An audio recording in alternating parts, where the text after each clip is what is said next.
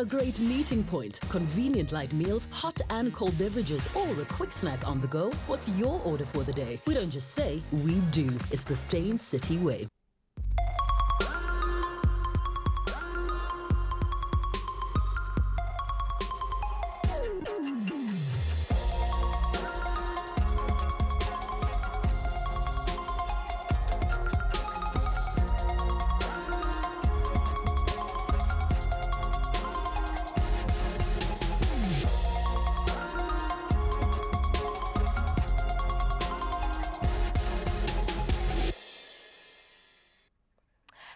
Welcome to Real Talk with me, Anele Mdoda, right here on SABC3. Today, the stage is for a creative genius whose roaring success story is one that will, without a doubt, outlive him as generations of children will grow up to his music, mostly because of a community of animals living it out in the Pride Lands. He was recommended to Disney by the prolific film score composer Hans Zimmer to work with him, and this body of work earned them a Grammy Award, as well as an Oscar and a Golden Globe. That became the highest grossing animated film in cinematic history. To date, over 8,000 performances of The Lion King have been seen on Broadway's theater circuit, with a premium ticket costing 190 US dollars. Celebrating its 20th anniversary, The Lion King tour is scheduled to take place in more than 40 cities around the world, and we'll have to wait a tad bit longer for the star-studded movie remake, which will hit cinemas in July 2019. The man behind the voice and the spirit of, Lebo, of Lion King, Lebo M, created this.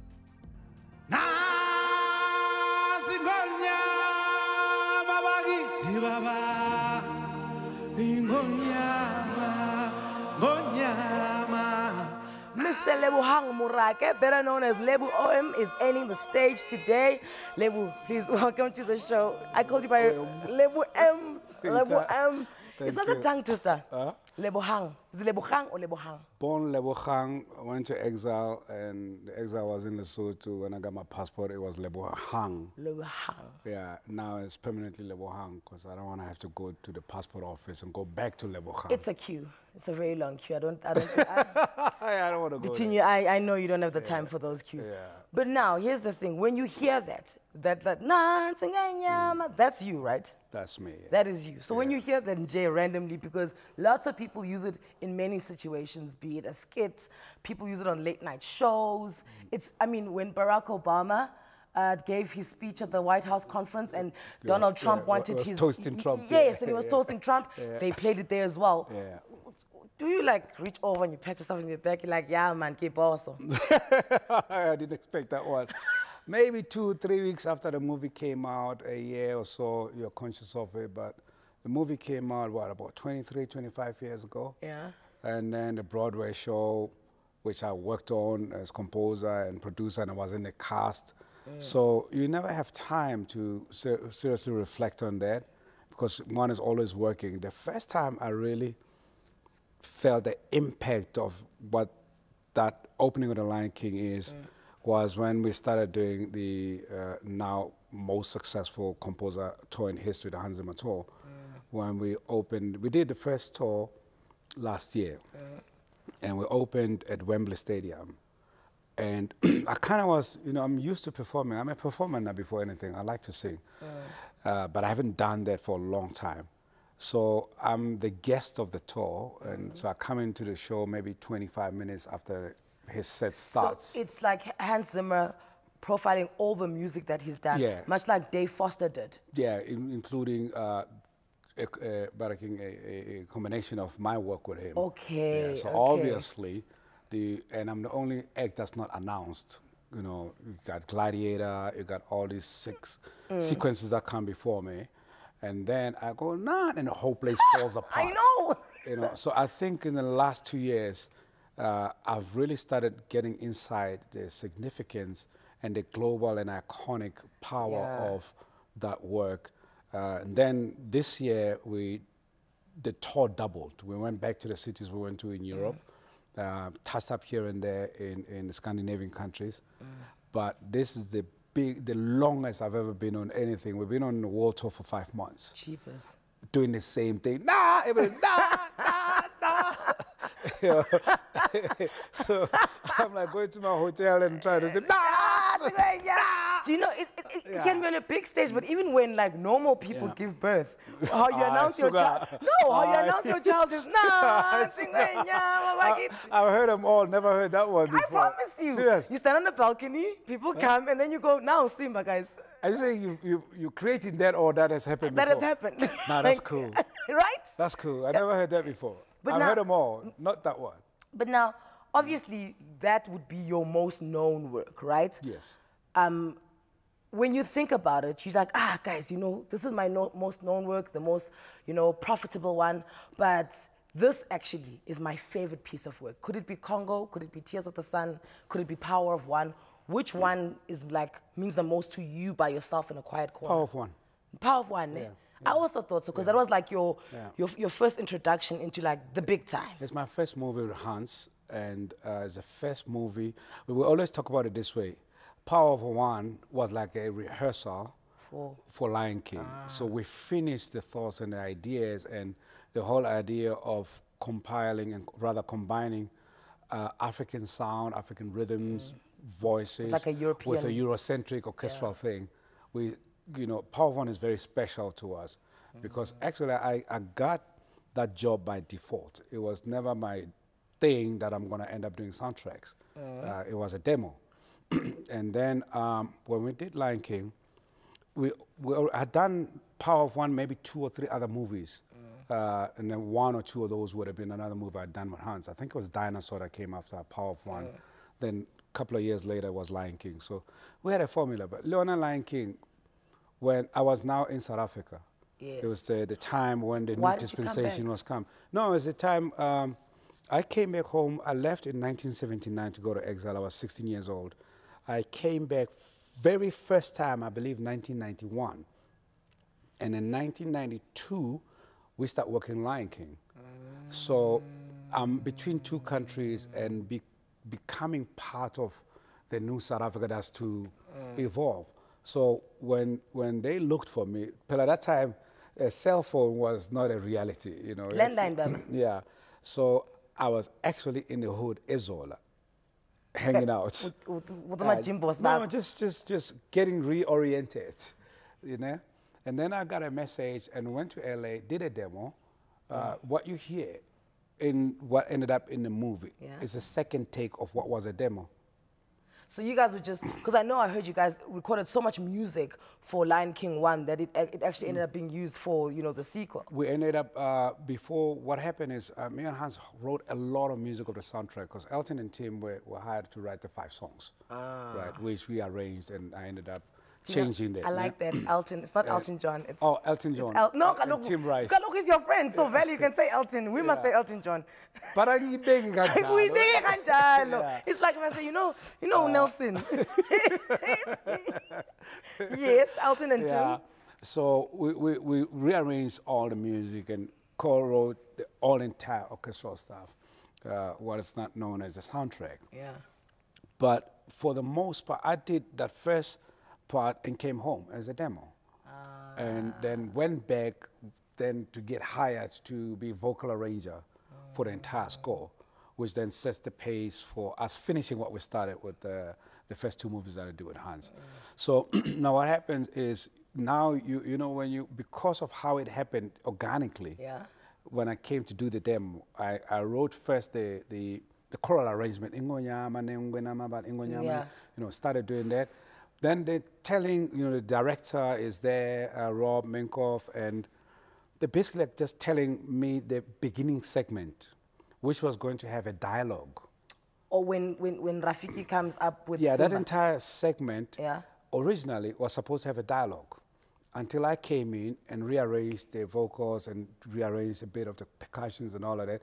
So right before Nhamba, so they're telling me a story and Hans like, do something, you know, do, do mm. something African, you know. Yeah.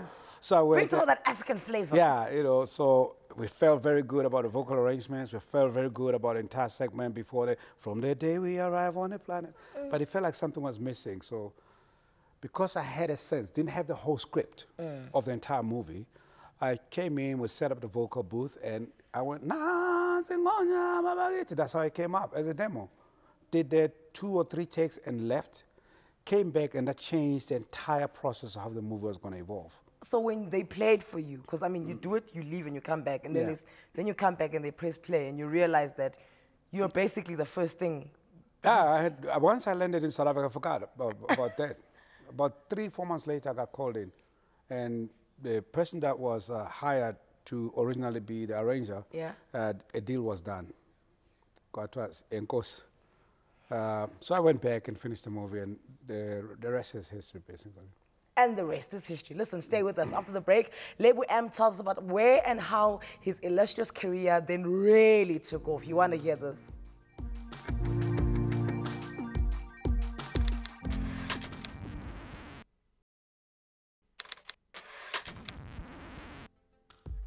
From a very young age, Lebo surrounded himself with musical greats, which saw him being the youngest backup vocalist to perform in a nightclub in his youth, and this was the beginning of his journey to musical success. What are they called? The Pelican Bruce? no. In the 70s. The Pelican. The Pelican. The, The Pelican. Pelican, Club oh. Pelican, more specifically. Club uh-huh. Pelican. In the 70s in Soweto, in Orlando, by Orlando Stadium, there was this institution uh, where the best musicians in the country had to play, whether from Cape Town and all. And I ended up there at age 14. Uh, I don't know it's been Latlege Gupi. And uh, uh, Edgar Hall was the DJ there. Uh, the late uh, Dick Koza uh, was the manager, and Papa Mukwena was the, the band leader.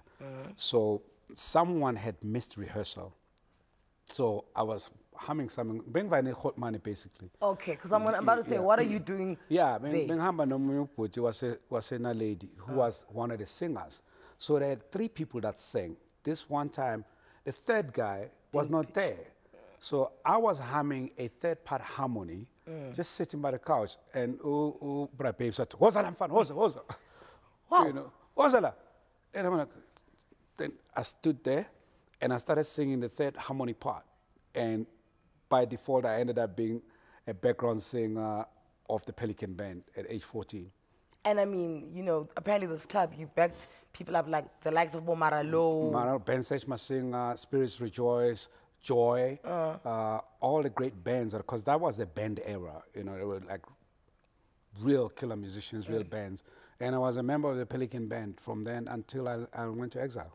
So when does the U.S. ambassador see you and say you must apply to Duke Ellington in, in Washington? We end up with my late friend Vernon in Lesotho, uh 1979. Uh, and Nakona, I was leaving not because of political activity, because Edgar Hall, who was the DJ at Pelican, the main DJ, he was known as Barry White. He was a great singer, and a killer DJ, had gotten a new gig in Lesotho. A new club had opened there called the Big Apple. Yeah. So, me, you know, I was really aggressive. I, you know, I wanted to be where the next thing is because I've been at the Pelican for two years.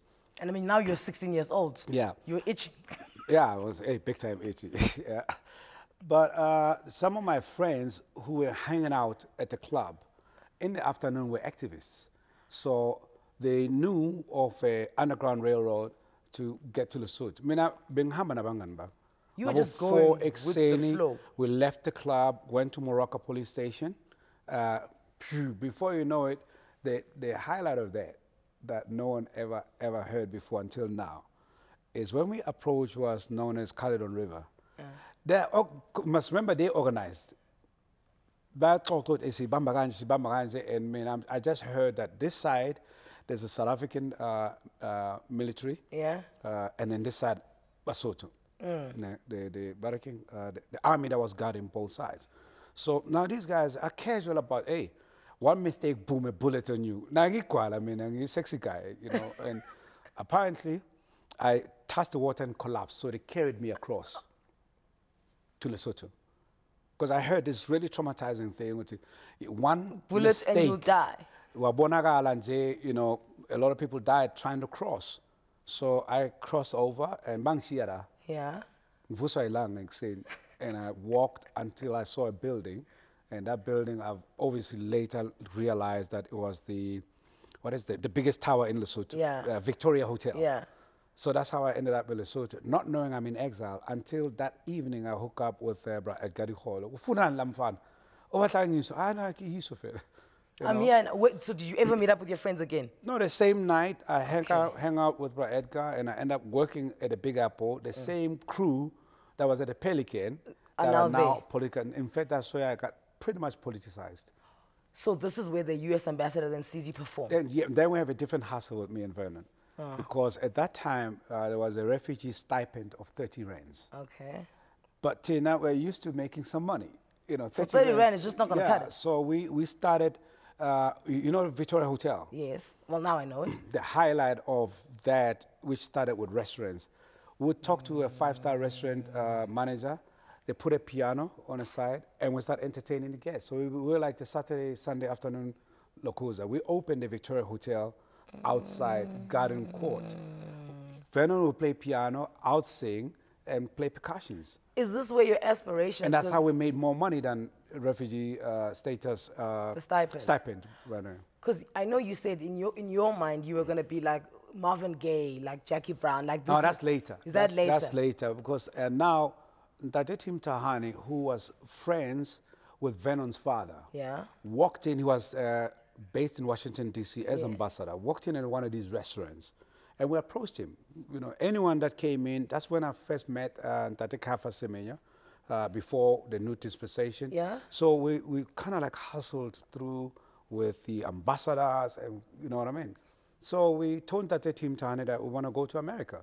Long story short, between uh, Tate Thahane, uh, an organization based in New York called TransAfrica, and years later I learned Meza Elembeki signed my refugee passport in Lusaka. A special arrangement was made for us to be adopted, and we ended up in Syracuse first initially, and then years later ended up in D.C., Washington, D.C. So up until then, you had never studied music. You had just been in it. Yeah. And when you get to Washington, do you then start studying? Washington, D.C., at Duke Ellington School of the Arts is where I formally got a sense of studying, studying music and where my dream of being the biggest R&B star literally died because uh, my age group then were so talented, better than the stars that I knew. You know, I mean, I went to, I sat in the same desk lane with Tony Terry, who became a superstar then. Yeah. Uh, and a lot of people came from Duke Ellington School. Duke Ellington, Duke Ellington was like the New York School of the Arts. Yeah. The competitors. Yeah. So now, if you are from South Africa and you want to sing like Marvin Gaye, and in the choir of the school, there's four singers that sing better than Marvin Gaye. But, well, You're never gonna be Marvin yeah, Gaye. so the first year and a half were these two Africans in this little corner, Koskolo. But, until one day, we were just messing around doing what we used to do Back home. in Lesotho. Yeah. Just Vernon was on piano, and we're just messing around with anything. I remember actually the melody that we did was Ranza Ranza baby da, and it was different. Two key things happened. The cutest girls pay attention to us. Okay, honey. and then the piano surrounded, and the uh, um, school principal, Dr. Morris, said, "Stay there. That's where you are." And because we realized that we're getting attention, at that point, not consciously, Mm. I started kind of researching South African music, Ladysmith Black Mambazo, Mahlathini, Yeah. Hugh But Hugh Masekela, Masekela. Miriam Makeba, you know. The people who are making it internationally by sticking to an, in an African sound. Actually, I was doing it in fun because when people ask you what was that that you did, and you have no, all you knew is R&B. Yeah. So you had to kind of like have answers. So I had to do research, and I got sucked into finding myself in that way because when you start talking about Ladysmith Black Mambas or Hugh Masekela, Miriam Makeba, that became more fascinating to the students. So we became hip basically, and then there was a church in DC that adopted me, uh, called the Union Temple Baptist Church, and I became part of the choir there, and I started experimenting with taking American, uh, American uh, gospel song, any, and I started throwing lines in South African. Kante, I was an arranger in training. Because I'm saying now, this is where you were getting the initial, the DNA of what then you went to go do with Hans Zimmer. Yeah, years later, Years I- and later. it ended up being my basic, the basis of my career. Sure. That's how the dollars came in. So you are hearing from the man himself, Lebo M. More when we get back. Do not go anywhere. Trust me, it's going to get a little bit more riveting.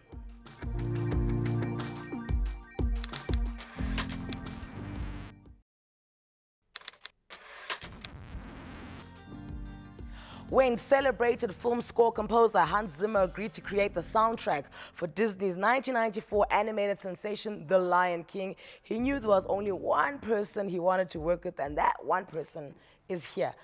So I want to go to LA, right? And you are there washing cars and working at McDonald's to make ends meet. LA was hard initially. Uh, we finished, uh, well, a long story short, I got dumped in the 12th grade in high school by my high school girlfriend. And that's like before the Nansi got a nice prom. Prom. Yeah, well, being a refugee, after she dumped me, I went to where I was staying, took my plastic bag and left. Okay. I never did the prom. you just like, forget your matric dance, forget your prom night. Matric dance, prom not king, yeah, I was gone. I was gone. Okay. went to Syracuse. We hustled in Syracuse, and we were promised uh, a huge break then by someone that had worked with Ntata Caiphus Okay. as an arranger. I still have to find his name. Uh, and uh, Muntu Semenya, who was a very close friend of, I, of Yeah. me and Vernon, we all were living together in Syracuse. Uh. And he made the contact, and boom, we flew to LA. One way ticket, the whole nine yard. We went to LA, met the guy, and a really nice conversation. At the end of it, he realized that our entire livelihood Depended on him. depend on him. Because you know, Moshe, former, I now know that as a producer years later, he, he- you know, it's like, okay, so guys, the studio is in so I'll see you guys at the studio at nine o'clock. And we look at each other, what is this talk about? We here now. Forget studio, where are we going from here? Where we're It's sleeping in right one now. way, one way. And he literally realized that and took us to South Central LA. He was so angry. He should have been angry at himself. In retrospect, now I know how this thing worked. But he, he had this old office Mm-hmm. uh, that was in an apartment complex. You could tell it was never open for years. Oh. You know, bringing them a car parts, old furniture, and this is this is like too big. The space was that m- smaller than this. So we lived in the streets in LA from that point on, maybe two years before I even got my first job uh, in a car wash. Yeah.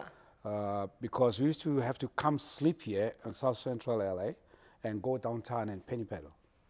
Also used to beg in LA. Yeah, we slept in a bus bus station for almost two years. Greyhound bus station. So if you didn't get enough cash to go back to this little room, Yeah. you hang out at the bus station until the sun comes out, and then you know the first job people come in. Long story short, and I end up in LA. Um, uh, start hustling your way up. Um, uh, got married eh. first time around. Wait a minute. How do you get married when you broke? Uh, no, Pella, there was a period where during this entire time Yeah. I had applied for a scholarship. Okay. Yeah, there was a Bishop Okay. Tutu Fund. Okay. Yeah. I'm back. And that was collapsed by, I believe it was President Reagan mm. when it came in. So when the scholarship fund came in, a little change was there, you know, and I went to Los Angeles City College. Mm. So that's after that whole two and a half years of being in the streets and hustling. And when you're in the street hustling, is, is the dream still alive of being a singer that's gone? Or you, you in composing? It's not anywhere alive. It's the only thing that keeps us alive. Is you know, and of course, long before we went to America, we already got politicized and we're part of the exile community. Mm. You know what I mean? I mean, coming from that era to now, the difference in how we as black people lived. Uh, in poverty, we were more united in poverty. Ukulamba. Whether it's Lesotho, Los Angeles, London, New York, you basically knew how many South Africans were where. Yeah. Ne? So you know what okay kuzoba ntswembu but uhlangana so and so uthi ubani told you We'll be mawufika lapha mawufika lapha look for so and so you know so there was South African communities everywhere. Yeah. Ne? So you kind of tap into that eventually. Ne? So when we went to Los Angeles City College, my entrance into the LA music scene actually starts in LA. Yeah. Because a friend of mine, Dale Atkins, who was a bass player and still is a bass player, had a studio at his house, uh, Gubo, not even his house at the back Yeah. door. And we used to do demos there. And then every Thursday, there was uh, Marla's, Ma- Marla Gibbs. Marla Gibbs was a big superstar Yeah.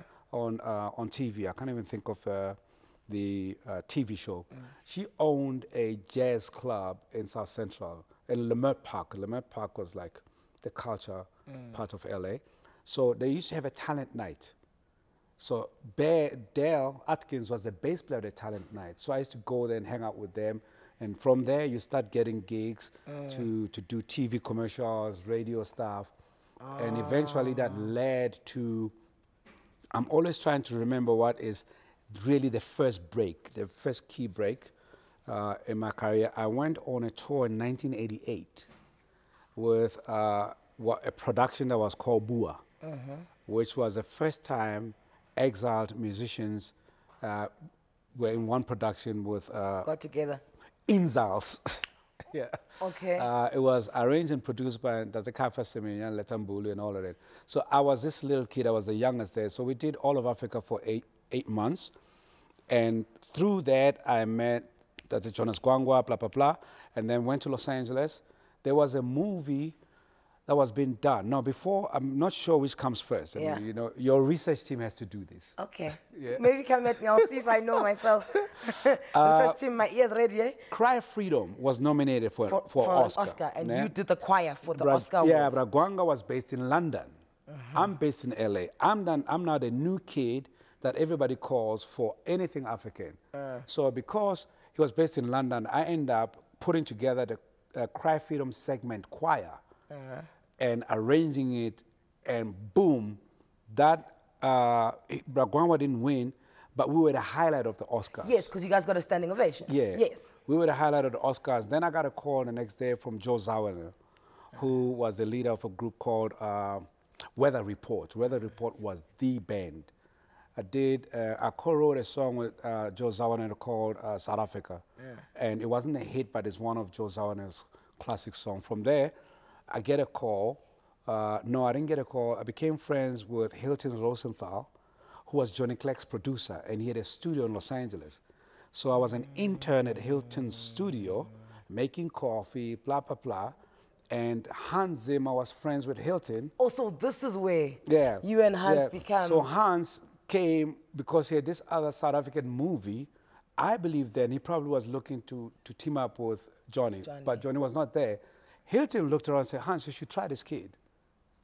So Hans said, yeah, yeah, come to my studio tomorrow, you know, to see if, if I'm doing the right chord here. I end up co-writing, performing all the lead vocals in Power of One, uh, encouraging the film company to come to South Africa to redo the entire score.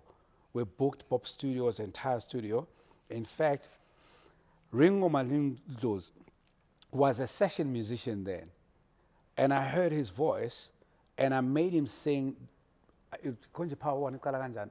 I started, "Uyeni mama bo." Ringo is the second voice that Yeah. comes after me when Power One starts.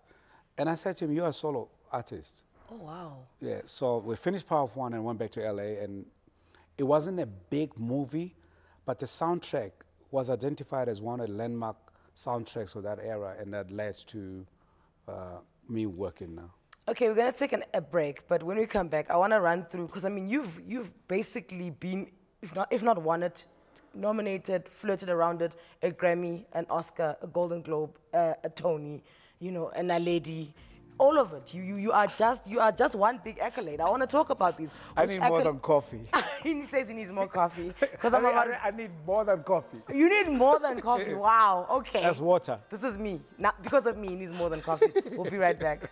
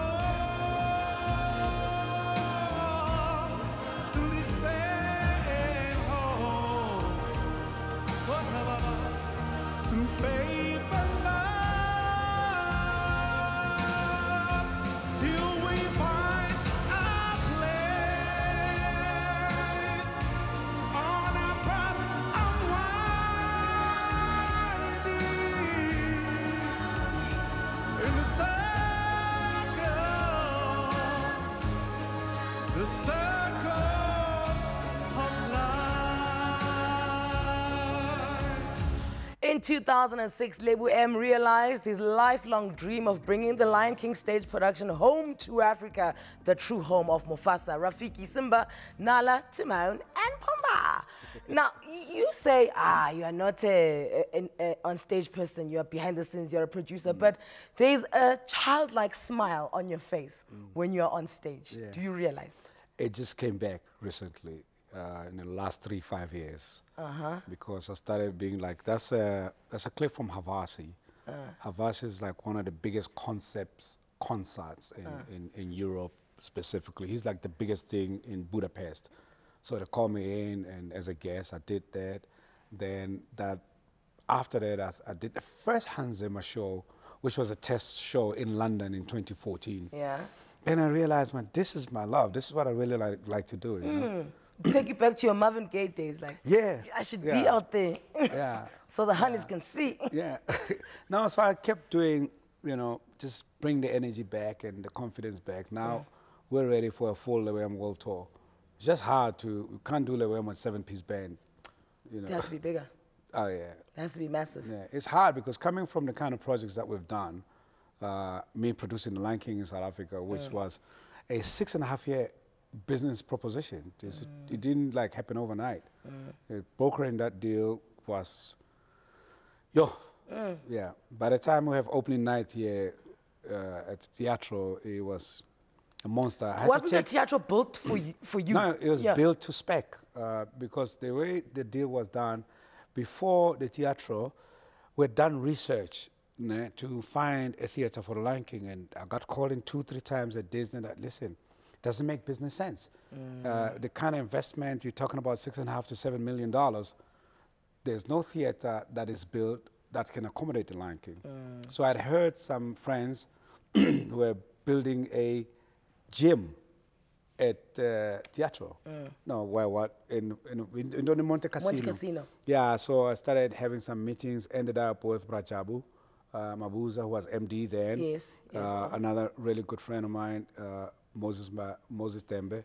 And I convinced them, negotiated and brokered them to do away with building the gym, just added a couple of more million uh, and build the Teatro, and I'll open it with Lion King.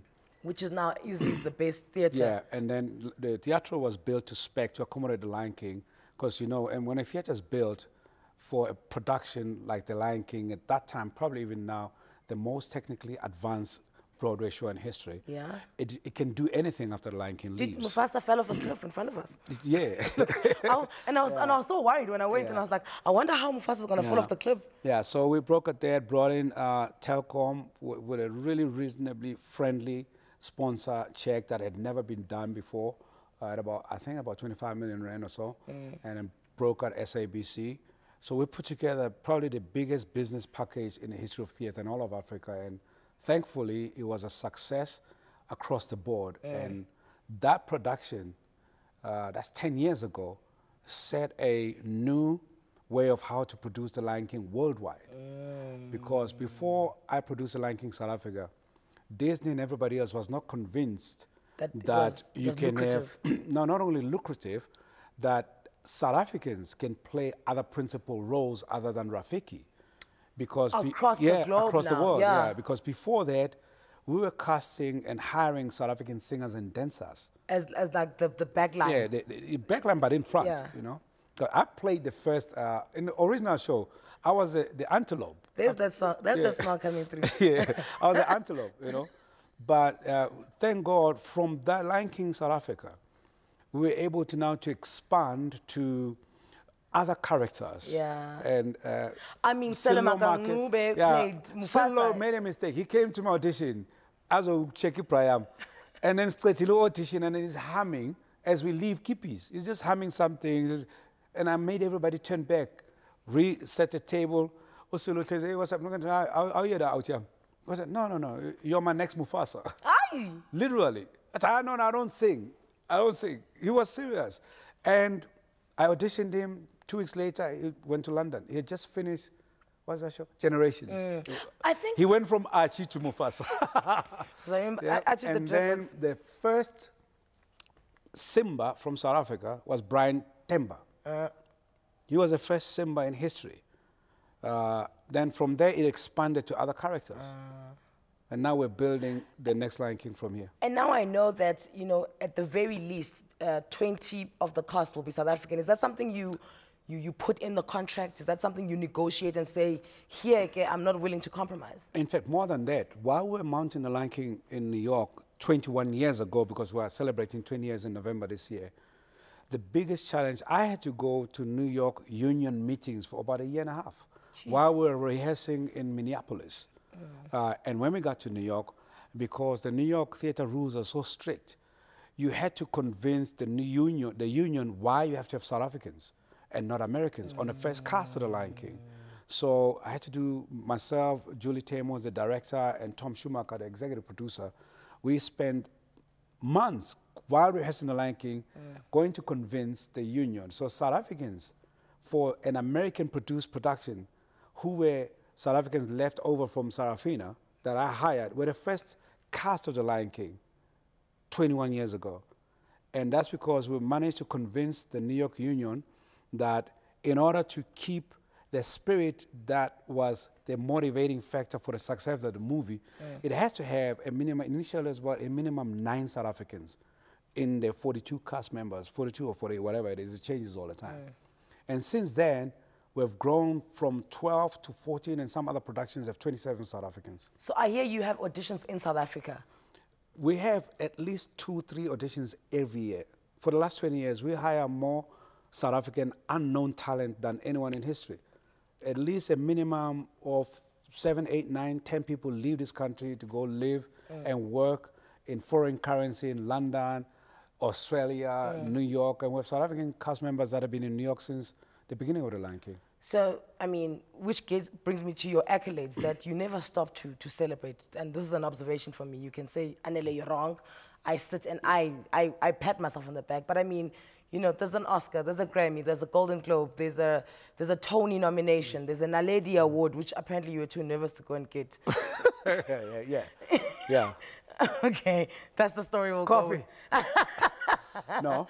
Uh, I, I won a Grammy for Yeah. the ranking, and I was nominated for a Tony. Okay. And two South African or three South African Music Awards. Mm. And in, never an Oscar. I was nominated, almost nominated for the Oscar and it became political. We don't know how my name disappeared.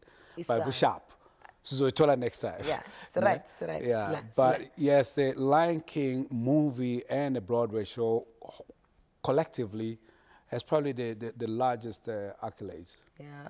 So what's what's the closest accolade to your to like you like something that you like you know what if I die tomorrow let that be the first thing they say when they speak about Lebo M and you can include the fact that you are making sure that South Africans are fed on Broadway and West End around the world you can include that because I feel that's an accolade That's my, it's, it's no longer accolade. it's the, it's the biggest reward to, to know that my work and what we do not only gives people opportunity, it changes lives. Yeah. We've seen people, let me, let me try to describe the largest number of talent that we hire. Mm. It's not people, and actually, I'm, I'm saying a lot of, st- I almost said the other way, I'm saying a lot of stuff I never said before. yeah When we started the Lion King auditions here, obviously you get the industry uh, talent, Yeah. you know, agents. Okonomunyu sisi wangidina waba divarish that time. yabo. Plus being Sasha, so I got annoyed and I shut out the auditions. And I remember saying, you know, let's just do open calls. That was the greatest, by default, how to audition for the Lion King yeah because we realized that the largest number of talent are people who've never sung mm. in a wedding, in a funeral, and we, we discovered raw talent. So for the largest part, because we hire from 18 onwards, mm. the people that will come are people who just picked up a, a, a- pamphlet. That's with mm. Tatishans. And we hire that large number of people and, and send them overseas, and some of them come back here and become stars. Every time I turn the TV on, I, that person has worked with us, this person has worked with us, this one has been in Lion King, Lona uzoyimthiyane ngemfake kuTarzan, ngemfake kuHanzima, uh, u- u- Sello Maake, Yeah. and a lot of talent. So we, it's rewarding to know that uh, in the last 20 years we've contributed uh, financially and otherwise to building families. Okay, don't go away. After the break, we conclude our chat with Lebo M about his epic musical journey in film, TV, and the theatre that has brought him worldwide critical acclaim. And also, I want to talk about Lebo M, the father. Huh? The father.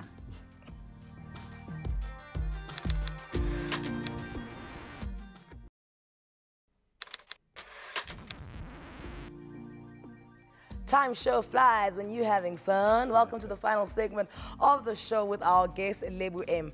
Now, here is the thing. All of this thing you've been telling us, from when we started to now, you never once mentioned your father or your mother. Yet, you've got such a strong sense of being a parent. Where does it come from? It comes both from my parents, but mostly my mother. Uh, my mother, uh, she's 89 years old, from a building, uh, Eastern Cape, and they hooked up in Joburg many years ago. And she's my pillar, yeah. And both my parents now live in my house uh, because they need help. Uh, and most of the years when I was in exile, in fact, my mother had come at least two or three times to come visit me in Lesotho. Yeah, so then I have that, and I'm very lucky, very blessed. In fact, I almost forgot the highlight of my career is this last tour going around the world with my daughter Rifi, who's 23, who had gone up and down everywhere, and I've been watching her, watching her. She's like my Missy Elliott. You know, I, I, I think I'm blessed to know that if Utiko checks me out, I have a child that's actually probably more talented than me Whoa. because she stepped in the shoes. Uh, uh, Zoe Mthiyane was my first guest in the Zimmer tour. She did the first tour. And then I brought in Buyi, uh, who's our Rafiki. You're talking about people that are experienced on stage. Buyi had been our main Rafiki around the world. And I made a decision, having watched my daughter perform in some little place in Durban uh, long time ago. And I made a call. I said, You're coming on a tour with me. So this entire five months, I've been on stage with my daughter in the biggest venues you can ever dream of, and she was on fire. You know, so that's the highlight of my career. And my uh, my son is at school in Los Angeles at the MI Music Institute.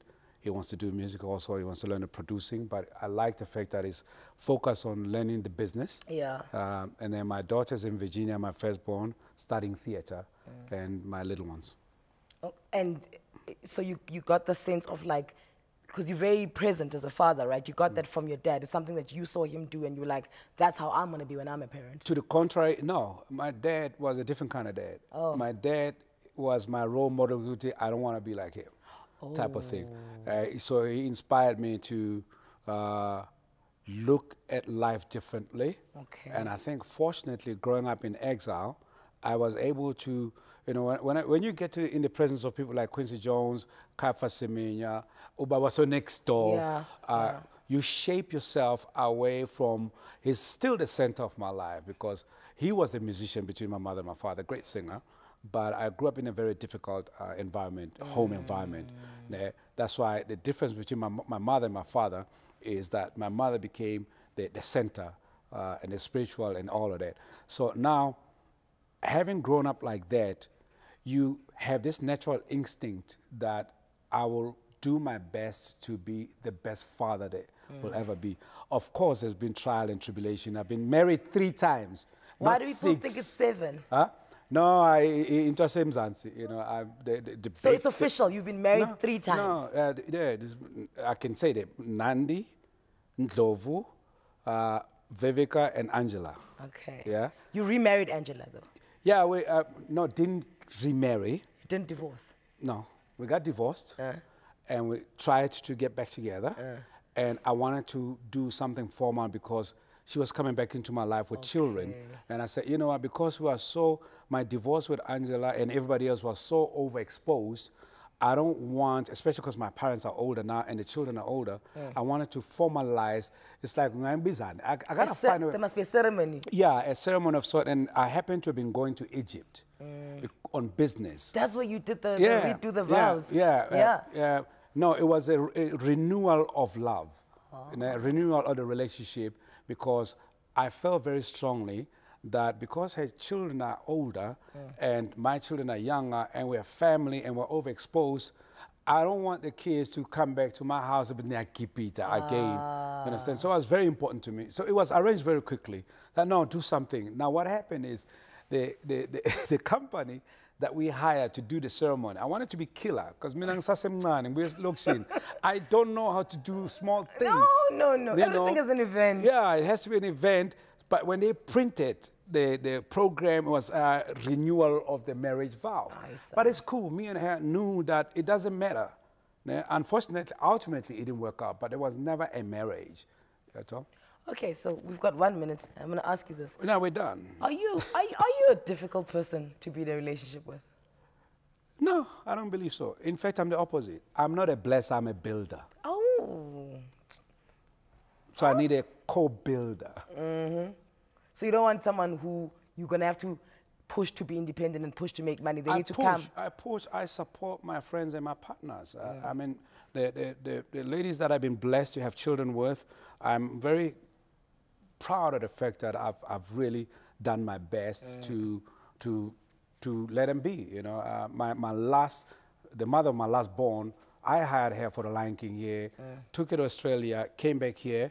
I literally, when I was asked to do Tarzan, my last soundtrack, I was in Cape Town. I literally put her in the studio, put her voice in Tarzan, co-produced the song and co-wrote the song, but it was important to me that I put in Tarzan for the rest of her career after she had done Hans Zimmer tour with me. You know? And the previous one is Injalo listen to. So, Tina, So you're not a blesser, you're a builder. No, I'm not a blesser, I'm a builder. I can't afford to bless, man. Okay, there we go. Builder's warehouse. That's what you can call him when you see him on the streets. What a journey and absolute pleasure to have shared this hour with Lebo M. Thank you very much. you. That's all we have time for. This could have carried on for two hours, to be fair, but sadly, it's only an hour. From us, the Real Talk team, it's a good night. We'll check you next time.